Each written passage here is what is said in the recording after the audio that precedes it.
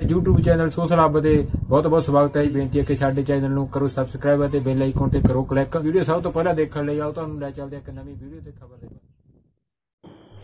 ਹਾਂਜੀ, ਸਾਰੇ ਵੀਰਾਂ ਦਾ ਬਹੁਤ ਬਹੁਤ ਸਵਾਗਤ ਹੈ ਜੀ। ਦੋਸਤੋ, ਲੈ ਕੇ ਆਏ ਹਾਂ ਅੱਜ ਦੀ ਇਸ ਵੀਡੀਓ ਵਿੱਚ tractor Massey 241 DI power steering ਤਸਵੀਰਾਂ ਟਰੈਕਟਰ ਦੀਆਂ ਤੁਹਾਡੇ ਸਾਹਮਣੇ ਤੁਸੀਂ ਦੇਖ ਸਕਦੇ ਹੋ। ਸਾਈਡ ਗੇਅਰ ਤਸਵੀਰਾਂ ਟਰੈਕਟਰ ਦੀਆਂ ਜੋ ਕਿ ਅਸੀਂ ਤੁਹਾਨੂੰ ਦਿਖਾ ਰਹੇ ਹਾਂ। ਮਾਡਲ 2014 ਰੇਟ 480000 ਰੁਪਏ, ਪਾਵਰ ਸਟੀਅਰਿੰਗ। ਜੋ ਰੇਟ ਤੁਹਾਨੂੰ ਦੱਸੇ ਗਏ ਨੇ ਫਿਕਸ ਨਹੀਂ ਹਨ।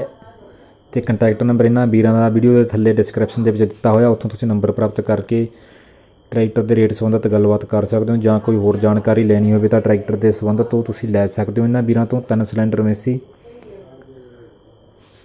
ਤਸਵੀਰਾਂ ਟਰੈਕਟਰ ਦੀਆਂ ਜੋ ਕਿ ਅਸੀਂ ਤੁਹਾਨੂੰ ਦਿਖਾ ਰਹੇ ਹਾਂ। ਲਗਾਤਾਰ 1328 ਦੇ ਗੁੱਡ ਈਅਰ ਦੇ ਟਾਇਰ ਜੋ ਕਿ ਅਸੀਂ ਤਸਵੀਰਾਂ ਦੇ ਵਿੱਚ ਤੁਹਾਨੂੰ ਦਿਖਾ ਰਹੇ ਹਾਂ।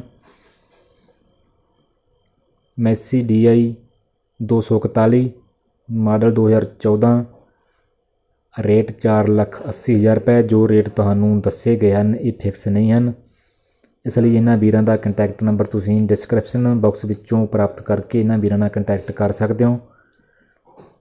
ਟਰੈਕਟਰ ਦੇ ਰੇਟ ਜਾਂ ਹੋਰ ਕੋਈ ਜਾਣਕਾਰੀ ਲੈਣੀ ਹੋਵੇ ਤਾਂ ਤੁਸੀਂ ਤਾਂ ਤੁਸੀਂ ਉਸ ਨੰਬਰ ਤੇ ਪ੍ਰਾਪਤ ਕਰ ਸਕਦੇ ਹੋ, ਬਰਨਾਲਾ ਏਰੀਆ ਇਹਨਾਂ ਵੀਰਾਂ ਦਾ ਜੋ ਅਸੀਂ ਤੁਹਾਨੂੰ ਟਰੈਕਟਰ ਦਿਖਾ ਰਹੇ ਹਾਂ।